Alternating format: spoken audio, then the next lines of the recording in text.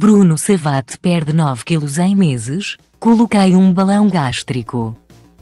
Bruno Savate mostrava-se desconfortável com a sua imagem e decidiu pedir ajuda médica para mudar.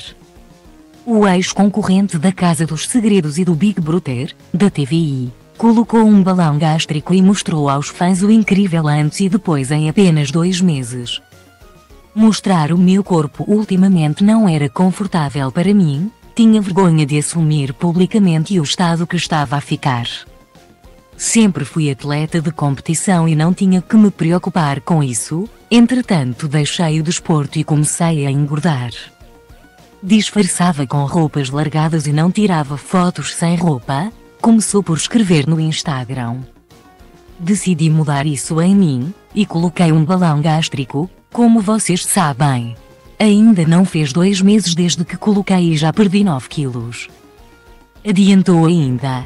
Estou no foco e vocês mantenham o foco também, rematou Bruno Savate nas redes.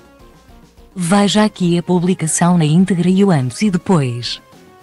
Veja também, Bruno Savate mostra nova fotografia com a filha e seguidores atiram, parece um anjo.